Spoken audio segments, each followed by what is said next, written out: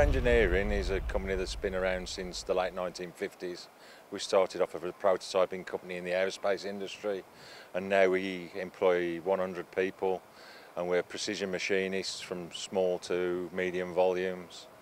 Um, we utilise a plethora of uh, equipment from five-axis laser cutting, large milling to four metres, five-axis milling machines, wire erosion, EDM, how, spark how erosion. We operate out of four units, uh, plus another site over in Wolverhampton, so this is the Willenhall site. We, have got ISO 9001, AS 9100 and Nadcap accredited for EDM. Where we really see ourselves, we believe we're engineers and we're solving engineering problems, but really we're a service engineering, uh, a service company that's really solving people's problems as in, I've got a component I would like to be made, it's not simple milling or simple turning, it's a combination of processes that we can manage those processes and utilise the correct processes to do the job as efficiently and as accurately as possible.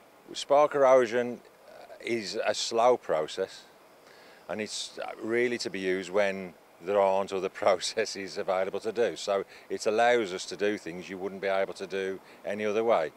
EDM, we were one of the first people to use wire eroders in the 1970s uh, and it absolutely revolutionised the tooling industry. Uh, and we utilise those capabilities to achieve things that you wouldn't be able to achieve any other way.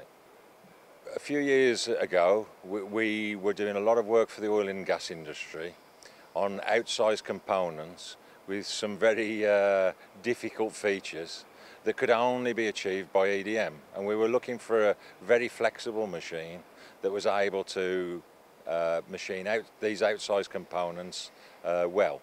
And the Joemars machines, the range of machines they had available and the adaptations that we were able to put into that machine really uh, was ideal and I don't think we had that opportunity with any other manufacturer at the time.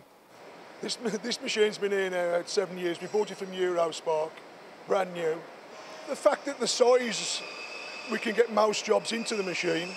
The door opens, we can have jobs overhanging the machine using um, the, the fuzzy spark is a good generator. Accuracy wise, we can't fault it. Overall, an 8, to 8, 8 out of 10. We've never had a problem.